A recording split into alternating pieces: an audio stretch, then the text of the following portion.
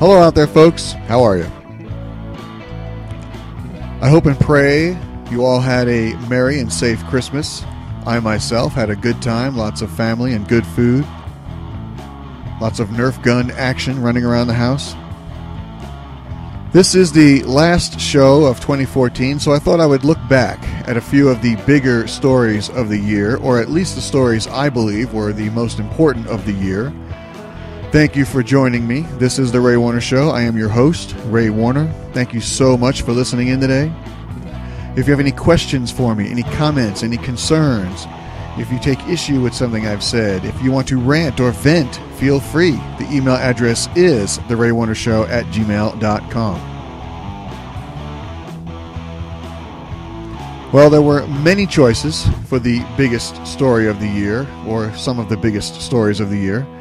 Uh, we saw the Malaysian airline disasters. One plane went missing altogether. Not sure if they ever found that. And then, of course, one was shot down over Ukraine. We had Ebola ravage over in Western Africa, killing thousands of people. Of course, the whole Crimea and Ukraine uh, incident, Russia invading Crimea and then annexing it, and uh, the whole war going on in Ukraine. We had uh, school shootings in the United States, and we even had one in Pakistan, where over 100 people were killed, many children. We had Obama's Bowe Bergdahl deal. That was a big story this year. We had the Boko Haram kidnapping. Almost 300 uh, teenage girls kidnapped out of school over in Nigeria and uh, sold basically into slavery as uh, trophies for Islamic militants. We had Obama losing in the Supreme Court, the Hobby Lobby decision. Of course, it was uh, what was it? His thirteenth nine to nothing smackdown by the Supreme Court for his executive overreach. We had the recent Sony hacking. We're all familiar with that one still. We had uh, Marine Andrew Tahmooressi abandoned in a Mexican jail, basically for making a wrong turn. We had the horrific rollout of Obamacare this year and Kathleen Sebelius stepping down in shame and disgrace uh, because of this $600 million website that didn't work and was a security nightmare. We had treason committed publicly by Dianne Feinstein releasing the CIA report on enhanced interrogation. We had the VA scandal. We had a generation being taught how to hate as cities in America burned in race riots. We had the Hillary Clinton book flop, a $14 million deal that went nowhere. These were just some of the biggest stories. What I'm going to do is work up my list of the top three of the biggest stories, I believe anyway, of 2014, which were none of those, by the way. And number three on my list is the midterms. Republicans uh, taking control of the Senate, taking more seats in the House, taking more governorships, all the way down to garbage man. This thing was bad for Democrats. Here's what I said after the Republican wave in November. Did you hear Obama after the Democrat pummeling last week? To the two thirds of voters who chose not to participate in the process yesterday, I hear you too. To the two thirds of you that chose not to participate in the process, I heard you too. So now Obama hears the non vote we already know he wins the dead vote, the cemetery vote. He wins the straw man vote, but now he hears the non vote. I want you to picture this. It's 2016. There's been a long, hard fought, drawn out campaign. And Hillary beat, uh, I don't know, pick one. She beat Chris Christie, let's just say, hypothetically. And she wins the election. So, January 2016, she shows up at the White House and rings the doorbell. Barack the first answers the door. Hillary says, ah, I'm the next president. And Barack the first says, well, I heard the two thirds who didn't vote, so I'm not leaving. I'm still the president. How do you hear a group of people who are silent? How do you hear an opinion not offered up by anybody? I need to know this. Well, Barack the First hears them. Remember that movie, I See Dead People? Barack the First says, Oh, yeah, well, I hear people that aren't even talking. Beat that. Now, after you work your way past the absurdity of it, you start to think, or at least I did, why say something like that? Now, I've said in the past, I think Obama tries to find the most offensive thing to say in any given situation. Just that way, we're talking about what he said and uh, not what he's doing. It's it's his way of creating this little this little distraction. I believe he just doesn't care what people think. He constantly tries to position himself as the victim, which is why I still say Obama wanted the Democrats to lose. I mean, he went around torpedoing their campaigns. He, he told the American people, my policies are on the ballot. Uh, what is, what, why would you do that if you want your party to win? I mean, he wants the gridlock. He wanted Republicans in there because he wanted the gridlock. He wants that image that everybody's picking on him. Everybody's creating all this gridlock, and the, the poor president can't get anything done because of the Republicans. He plays it to the hilt. So why would he say it? Why would I mean? Why quote a meaningless statistic? I, mean, I guess it's not meaningless, but at the end of the day, it just doesn't mean anything. The vote is the vote. The people have spoken. But by quoting this little statistic, he gets to act like the entire voting process took place in the minority. And all those people that didn't vote, somehow, you know, those are my people. It's just a way for him to try to nullify the results. He goes on TV and acts like it doesn't matter. But I'll tell you what, you talk about an absolute shellacking. We all know the big news is that Republicans won control of the Senate. And I think Democrats, along with thanking Obama, can thank Harry Reid as well. You talk about obstruction in Washington. What was it? Something like 400 or more bills came from the House, and Harry Reid just refused to even look at them? He would not bring them to vote. Remember the government shutdown? That did not have to be. Funding bill after funding bill was passed in the House, and Harry Reid refused to do his job. That's why there was a shutdown. And really, the funniest part of the whole government shutdown thing was that nobody really noticed, except the World War II vets at their own memorial. But they took down the gates. Remember that? That little stunt didn't work out either. And the poor kids turned away from the White House because they, they went to Washington to tour the White House, but because of the government shutdown, they were turned away. I mean, stupid stuff like that. But along with the Senate, Republicans picked up more seats in the House. I mean, if you recall the 2010 midterms, when voters uh, did some housekeeping and Republicans took like 60 something seats, these midterms, they took another 12 on top of that, or at least 12 or something like that. You look at places like Arkansas. Not too long ago, Bill Clinton was the governor of Arkansas. And when he ran for president, he won Arkansas twice in 92 and in 96. It was a blue state. And you look at Arkansas today. On Tuesday, Arkansas was one of the Senate flips. The voters there took the seat uh, from Democrat Mark Pryor and gave it to Republican Tom Cotton. And that's not all. Arkansas, right now, the home of Bill Clinton, the rock star of the Democrat Party, is all Republican. Both senators, all of the House seats, and the governor, all Republican. I mean, you talk about a turnaround.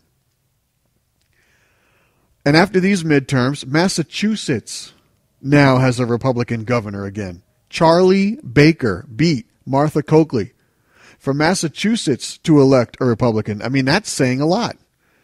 Massachusetts is like one of those bluest of blue states. Illinois. Illinois, where Barack the First himself was a senator. You know, Chicago politics and all that, where entire cemeteries were registered to vote. Illinois, elected a Republican governor. I mean, that's amazing. How does a Republican win in Illinois with all of that voter fraud going on there? Republicans now have something like 32 of the governorships in the United States. 32. That's no small deal. And not only did Democrats suffer this massive defeat, but some of the victories, you look at, let me see here. Where's my numbers? Greg Abbott. Greg Abbott ran for governor of Texas, and he beat Wendy Davis uh, in that race. Greg Abbott, this is the guy in, in a wheelchair. Wendy Davis ran ads about him, somehow abusing the system, making fun of him in a wheelchair. That didn't work well, now did it? Abbott, he even won the women's vote, 52 to 47. How's that war on women crap working for you, Democrats? Abbott beat Davis by double digits. He won that race 59 to 38 percent. And that was with a libertarian also in the race. He beat her by 19 points. And I can't be the only one who is tired of hearing this crap. Looks like Senate Minority Leader Mitch McConnell has a pretty confident contender, Allison Lundergan Grimes. Her campaign could beat Mitch McConnell in the upcoming 2014 election. Kentucky Senator Mitch McConnell is in a statistical tie with Democratic Secretary of State Allison Grimes. Polls show Grimes either a couple of points ahead or, or tied with McConnell. Allison Lundergan Grimes, can you guys believe this has a very real chance at unseating the top Republican in the Senate? What you heard there was a bunch of liberals trying to pump up uh, Allison Lundergan Grimes in her bid to unseat Republican leader in the Senate, Mitch McConnell. I got so sick of hearing about Allison Lundergan Grimes and her good shot at unseating Mitch McConnell. The only audio relevant to that campaign was from James O'Keefe. He got some of Grimes' people to admit she has to lie about coal, a lie about her position on coal and what she plans to do about coal to get elected. You know, it's a lying game over there. That's what they were saying. Oh, and my other favorite soundbite from the Grimes campaign is of her refusing to admit that she voted for Obama. Did you vote for President Obama, 2008, 2012? You know, this election uh, it isn't about the president. It's about know, making sure we put him? Kentuckians back to work. Did you and vote for him? I, I was actually in a way a delegate for Hillary Clinton, and I, I think that Kentuckians know I'm a Clinton Democrat uh, through and through. I, I respect the sanctity of the ballot box, and I know that the members of this editorial board do as well. So you're not going to answer? Again, I don't think that the, the president is on the ballot. She's a Clinton Democrat, so I guess she voted for Romney. Grimes lost to McConnell 56 to 40. She lost by 16 points. I mean, what do you do after a defeat like that? All of that hype from the left, all of that promise, all of that hope. And she turned out not to even be a serious candidate. What a joke. And she lost the women's vote, too. And not only that, a libertarian was also in that race. A libertarian in that race got 3% of the vote. So even with the conservative vote split, Grimes went down in double digits. Another state that flipped, Montana, uh, Republican Steve Daines beat Democrat Amanda Curtis 57 to 39, so he beat her by 18 points. Another landslide drubbing. And this race also had a libertarian in it and in North Carolina, another Senate flip. Democrat Senator Kay Hagan, that was no small deal. Uh, she went down to Republican Thom Tillis. And yep, you guessed it, even with a libertarian in the race. That was this show on November 8th. Since then, we've seen Obama, oblivious to the mandate, press along, illegally using his executive authority. We've had Mitch McConnell surprised to see that Obama has not moved to the center. And John Boehner continues his strategy of cave and promise. He caves to Obama's demands, then promises to fight at a later date, which never happens. Cave, promise, repeat. Cave, promise, repeat. The more things change, the more they stay the same. We'll be back. Stay right there, folks. Be back in a minute with number two on my list. You're listening to The Ray Warner Show. Resistance is futile.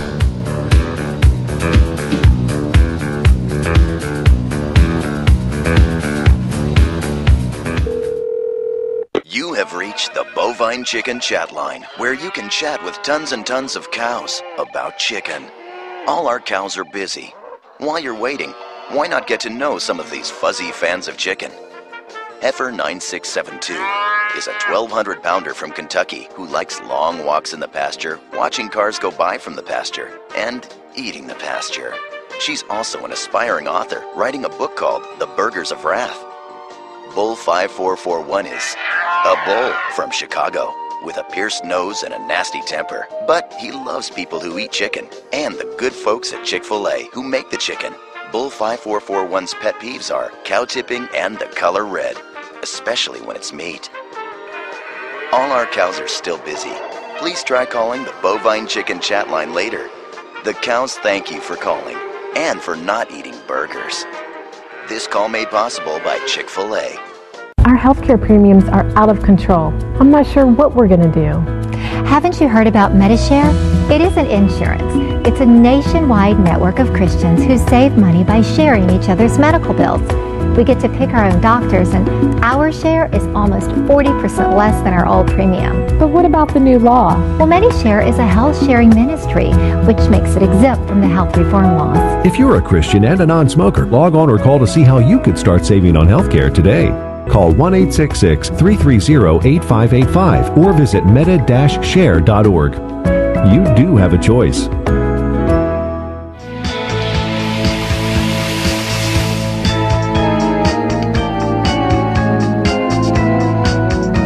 Welcome back, folks. Thank you so much for listening. This is The Ray Warner Show. I am your host, Ray Warner. If you want to email the show, if you have any comments, questions, or feedback, feel free. The email address is The Ray Warner Show at gmail.com. On June 28, I was talking about Thad Cochran reaching out to black Democrat voters when running against the Tea Party candidate Chris McDaniel in a primary. That was the primary down in Mississippi, where the rules are that you can only vote in the primary if you intend to vote for the candidate. So Thad Cochran may have encouraged people to break the law. But anyway, from that story, I swerved into my number two story on the list of biggest stories of 2014 the border crisis. Yes, over the summer, we saw literally tens of thousands of alien children, some in diapers, somehow cross the border alone. Other children, with the word children in quotes, were many Hispanics in their 20s and 30s claiming to be teenagers. Here is what I said back in June about the border crisis it's more about winning than about being honorable and doing the right thing. I cannot figure out why establishment Republicans think it's a good idea to try to out left the left from the right. The left can't win. When the ideas of each side are presented honestly to the American people and they're left to choose, the, the left wing in this country will lose every time.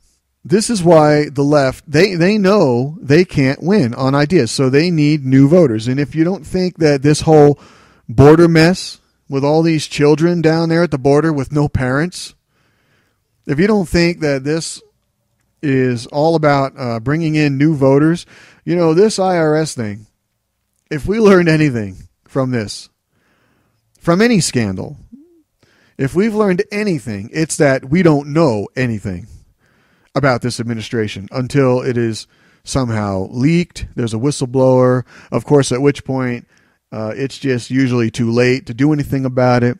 I just wonder what we will learn in the upcoming days and months and years about this whole thing going on down at the border. There's children, they're coming up from Ecuador, El Salvador, Honduras. They're coming up through Mexico and they're finding their way all the way up to the border and finding their way across the border. Our border agents, they've just become a bunch of nannies their facilities. They have become daycare centers. And what's Obama doing about it? I mean, is this not made to order for Democrats? Just a wave of illegals pouring into this country. They can't win on ideas. They need new, brand new voters to come in and vote Democrat. Of course, illegals are not pouring into this country fast enough for them no, now we have to have all these kids, and I don't care how young they are; they're still illegal aliens. And you know what's going to happen? We're going to we're going to go down there and find their parents. We're going to bring them here. It's all going to be done under this uh, big humanitarian movement. I guess Nancy Pelosi is on her way down there to the border to meet all these kids. That's what I heard. Obama did make a statement about this finally But uh, of course, he waited way too long. He let it get way out of control before he finally got involved. There are something like 50,000 kids down there now. Here's Obama's statement. Our message absolutely is don't send your children unaccompanied uh, on trains or through, uh, through a bunch of smugglers. We don't even know how many of these kids don't make it and may have been waylaid into sex trafficking or killed because they fell off a train. We have no way of tracking that. So that is our direct message to the families in Central America. Do not send your children to the borders. If they do make it, they'll get sent back. When we hear Obama make a statement like this, now, what we know for sure is that any statement he makes, any statement Obama makes is scripted, it's tested, it's calculated, and it's all for political expediency. What whatever he says, what he said, where he was when he said it, uh, if there was a backdrop or people behind him, uh, how he said it, the timing of it, you know, and of course, again, in this case, it's just way too late to do anything. He said we're sending them back, but you know that's not going to happen. He may send a select few if they don't somehow fully serve his political purposes, but this will sit there and sit there, and people will forget. And, or what's more likely, of course, tomorrow's huge scandal will just knock this right off the news.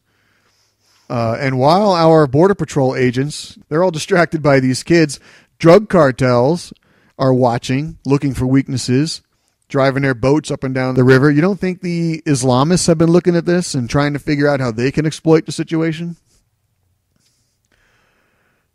We now know someone found a posting. The federal government uh, has a website where they post contract opportunities. Nothing wrong with that.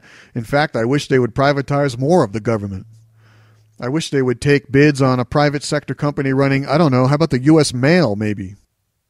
Anyway, uh, back in January, the federal government posted a contract up for bid, and it said they were expecting uh, a migration of illegal immigrant children, and they were looking for a transportation company. The title of the post was Escort Services for Unaccompanied Alien Children. January. January 29th. They knew in January that we would be having this problem in June. Oh, no, I'm sure there isn't a smidgen of corruption here either, Mr. President. How can you not say this was planned? Six months ago, they were looking for a transportation company for all of these illegal children, and here they come over the border. How in the world did the federal government know in January they would be dealing with the problem of alien children today? What evidence? What evidence that has yet to come out are we going to find out down the road about this scandal? I'm sure the mainstream media will be jumping all over this and uh, digging deep because that's what they do, right? Now, since we're talking about the border, um, did you hear about this? Here's a statement from a U.S. Border Patrol spokesperson. He said that uh, a Mexican law enforcement helicopter crossed approximately 100 yards north into Arizona, nearly eight miles southwest of the village of San Miguel, while on a drug interdiction operation near the border. Two shots were fired from the helicopter, but no injuries or damage to U.S. property were reported. The incident is currently under investigation. Mexican officials contacted U.S. authorities soon after and apologized for the incident. So, Mexican police flew a helicopter into U.S. airspace and fired two shots at our Border Patrol agents. What in the world is that all about? That was back in June. As I predicted, no one is being deported. Obama has now decided to use his executive power illegally and put an end to deportations. You could say it's been the year of the surrender. Obama surrendered to the illegal aliens. He surrendered to Cuba diplomatically. He surrendered uh, Crimea to Putin. Obama gives in to everybody but the American people. Isn't that strange? Could he be any more wrong on crises that affect America? Stay right there, folks. I'll be back in a bit with my number one news story of 2014.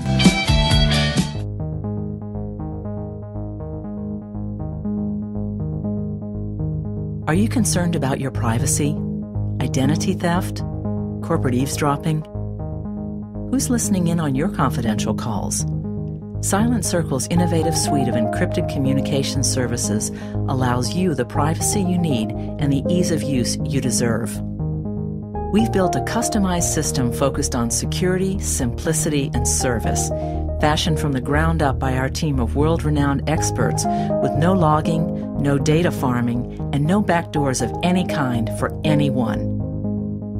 When a Silent Circle subscriber makes a phone call, sends a text, or exchanges a file with another Silent Circle member, that transmission is encrypted peer to peer, end to end, direct from your own mobile device or personal computer. With the addition of OutCircle Access, you can even call individuals outside the circle knowing you're still encrypted to and from the silent network. Whether you're a small business concerned with corporate espionage, a governmental organization tasked to safeguard sensitive operations, or an individual protecting your family, you can trust Silent Circle's user friendly apps and services to provide you with an affordable alternative to the risk you've had to accept until now. Silent Circle's groundbreaking global platform is the world's standard for secure mobile communications. Send a secure text across town or whisper in someone's ear 10,000 miles away. Silent Circle has revolutionized how the world communicates securely. Get in the circle. I came home last night and my door was smashed open.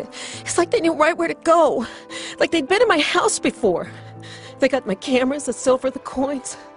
My husband's beautiful old shotgun. They took my jewelry. I can't believe it. It's all gone. Each year, more than 4 million homes are burglarized in the U.S. Keep your valuables safe and secure with a safe that gives you an extra margin of protection. A Liberty Safe is built tough and offers the most technologically advanced security features available. Plus, Liberty Safes are independently certified for residential security, and they're built right here in the U.S.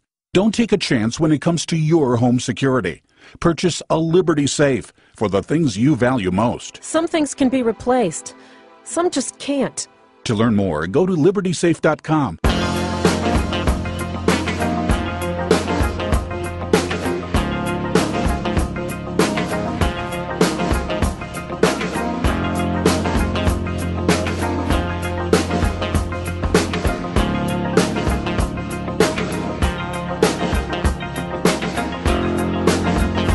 Turn left. Turn right. You have reached your destination at the Ray Warner Show. Welcome back, folks. Thank you so much for listening. This is The Ray Warner Show. I am your host, Ray Warner. If you want to email the show, if you have any comments, questions, or feedback, feel free. The email address is the Ray Warner Show at gmail.com. The number one story, the top story of 2014 has to be, wait for it, the rise of the Islamic threat. In reality, the Islamic threat has existed since Muhammad and his followers arrived in Medina, murdering people and stealing property back in uh, AD 622. But with America under Obama, the Islamic threat has a newfound boldness to escalate the violence to new levels. You combine that with the lone wolf attacks that uh, dot the globe, and this year alone, we have seen a spike in attacks in the name of Islam uh, everywhere, worldwide. The rise of the Islamic State, or ISIS, is the biggest threat the Middle East has seen in centuries. Islamists have attacked with guns, knives, hatchets, and bombs all around the world. The beheadings in the Middle East were mirrored in Oklahoma, of all places the storming of the Canadian Parliament, the hostage situation in Sydney, Australia, the hatchet attack in New York City, the Boko Haram kidnapping, the school attack in Pakistan, and many others. I'm sure I'm missing plenty. All done in the name of Islam, a so called religion of peace.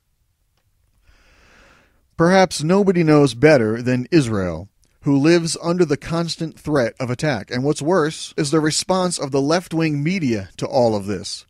They are so blinded by an unjustifiable hate for Israel that they just can't see it. Here is part of a show I did earlier this year about the Israeli Hamas conflict. Liberals here in America, why are they on the side of the Palestinians? Now, as near as I can figure, the answer is liberals are just wrong on everything. They gravitate toward the wrong answer on everything. Why would this be any different?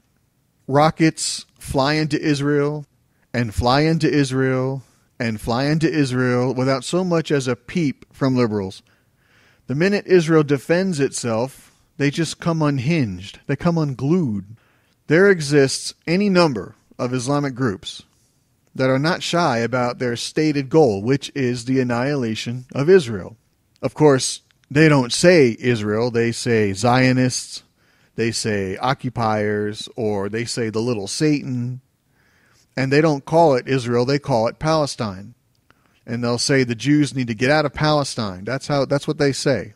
But they state their goals, these militant groups. Their very reasons to exist. And they say to wipe the Jews off the face of the earth and to rule the world through Islam. That is their reason to exist. Sharia is their way, and they want to impose it on the entire world.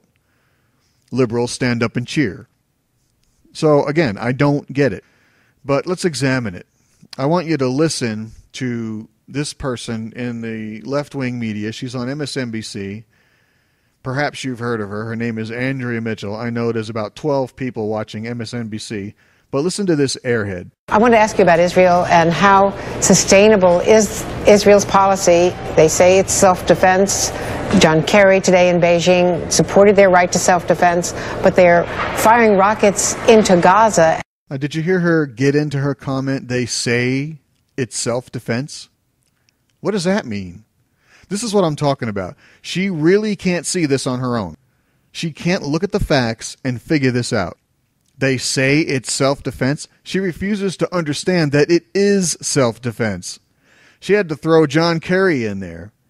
John Kerry says they have a right to defend themselves. This somehow gives it some kind of credibility in her mind. If John Kerry says it's self defense, well, that maybe it is self defense. They're firing rockets into Gaza. No pumpkin. Hamas is firing rockets into Israel. What Israel is doing is performing very surgical airstrikes and trying to hit their targets while minimizing civilian casualties. That's what's going on in the Middle East, pumpkin. And then she throws in the question how sustainable is Israel's policy? What kind of stupid question is that? Self defense is Israel's only policy. They want to be left alone but they're forced to defend themselves. They don't want this conflict, but they do want to live, Andrea, hence the self defense policy. She goes on. It is asymmetric. They have Iron domes, so they are going into shelters, and it is a terrible uh, strain on the Israeli populace. But the, the people in Gaza are getting hit because Hamas is reportedly hiding um, weapons manufacture in civilian, dense civilian areas, and they are taking terrible casualties. Well, she almost sounds uh, somewhat downhearted, you know, like her team isn't winning. The conflict is asymmetric. You know, I agree. It's asymmetric. One side wants a fight, and the other side doesn't. But that's not what she means. She means the Palestinians are no match for Israel. I guess Israel is just too good at defending itself. And she's right. Israel is by far superior, but that doesn't stop Hamas. And she says they have Iron Dome, like that is somehow unfair. They have Iron Dome and they're running into shelters. I guess what she wants is for Israel to just turn off the Iron Dome and to stand in the street, you know, to even up the death toll. It's just completely one sided, completely unfair, completely asymmetric. She said the Palestinians are taking heavy casualties because Hamas is, and she grew faint.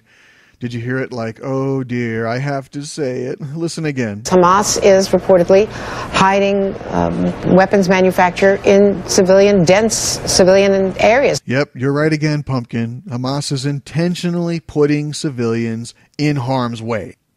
They are purposefully ensuring that women and children get killed and all for PR, all for, all for the world to see. They put their rockets in schools. They put them in hospitals. They fire rockets from daycare centers. Then, if there is any collateral damage on Israel's part, they cry, Oh, look what Israel did. Israel killed these innocent Palestinian children. So are you figuring it out yet, Pumpkin? Now, Ron Dermer, he is the Israeli ambassador to the United States. And he had this exchange with Andrea Mitchell. This is asymmetric. You have Iron Dome, provided uh, in part by the United States. You have air defenses against these rockets. So far, they've worked.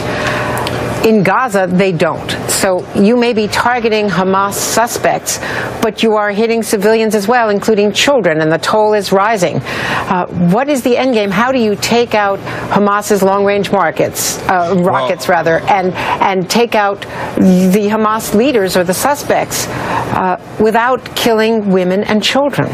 Well, we, it is asymmetric, Andrea, but it's asymmetric for a different reason. It's not asymmetric because we have the capability to defend ourselves. That's something that the Jewish people didn't have for a very, very long time. Israel provides the Jewish people with the capability to defend themselves against attacks. That's not what makes it asymmetric. What makes it asymmetric is that we are facing an enemy, a terrorist organization, Hamas, committed to Israel's destruction. It's fired thousands of rockets at Israel. They deliberately target our civilians, our women and children. The difference with Israel is we do not deliberately target their civilians. We deliberately target the terrorists.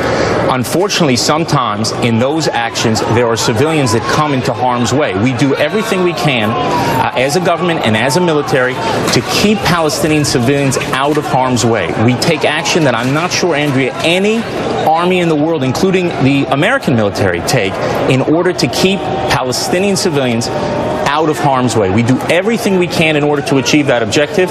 Every single loss of life is is uh, of any innocent uh, is obviously a tragedy, but we do not deliberately target civilians. That's the moral difference between us and the terrorists. But we should never forget that, that. That may be a moral difference, but with all due respect, given the density of Gaza, and I know that the Israeli army gives five minute warnings, calls homes and says, get out of the house, we're about to hit a rocket attack. You send warning fire, shots. I'm aware of all of that. That said, you're hitting women and children inevitably because of the density of Gaza. That's what, well, that's the reality. Andrew, we have to defend our population.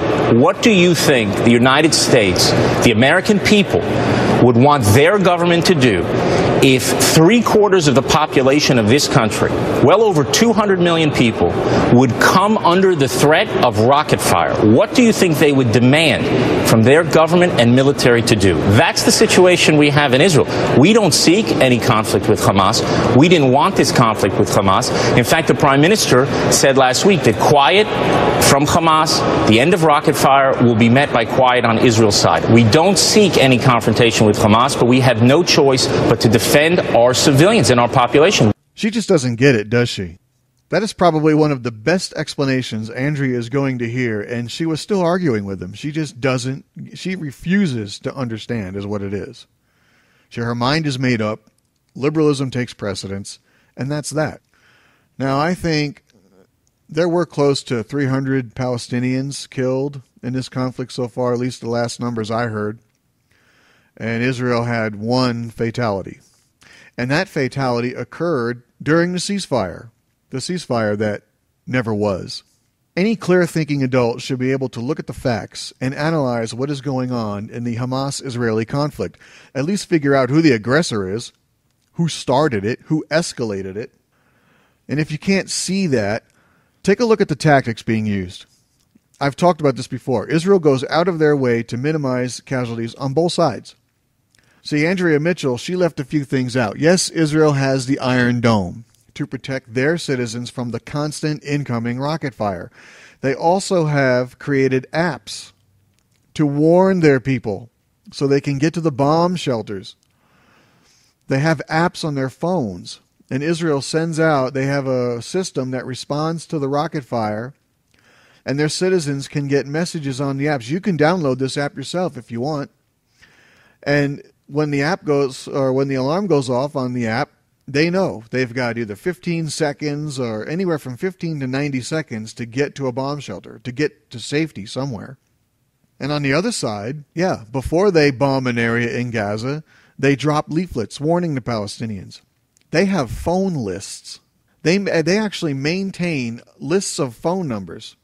And they call people and they text people in their language and tell them, We know you have bombs in the house. Get out. The planes are on their way. You have five minutes. Get out.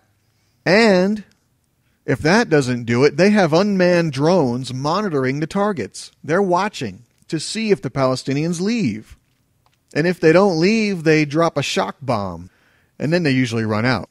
What country goes that far out of the way to minimize civilian casualties? The ambassador posed that question. He said the United States doesn't even go that far. The United States, we we do what we can to minimize civilian casualties. We've never employed. I don't. I don't think we've ever employed the use of apps and text messaging and you know warning the civilians, get out. Here come the bombs. We've done what we can to warn civilians, but I mean, Israel is over, above, and way beyond wartime strategy in what they're doing to minimize casualties of their enemy. And Hamas, they just intentionally, indiscriminately, they fire rockets into populated areas of Israel. They're targeting civilians, the complete opposite. They're firing them into the cities, the most populated areas. When Israel warns the Palestinians to evacuate, Hamas forces them to stay. I mean, they, they're stockpiling their weapons in the schools, in the homes, and then they cry to the world if there's a civilian casualty, despite Israel's best efforts. If liberals would just take their brain for a test drive, they would see this. That was from the show back on July 19th. And since then, the Hamas war machine has had enough, but uh, the threat continues. I'm sure they're taking the break in the action to just recruit and rearm. They're probably building more tunnels as we speak. And that is going to do it for this week, folks, and for this year. Thank you again for listening to The Ray Warner Show. I am Ray Warner. If you want to email me, if you have any comments, any questions, any problems with what I've said, let me have it. You can email me at The Ray Warner Show at gmail.com. And just so you know, there are any number of ways you can listen to the show and to the daily quick reports. You can subscribe at theraywarnershow.com so you get the link in your email.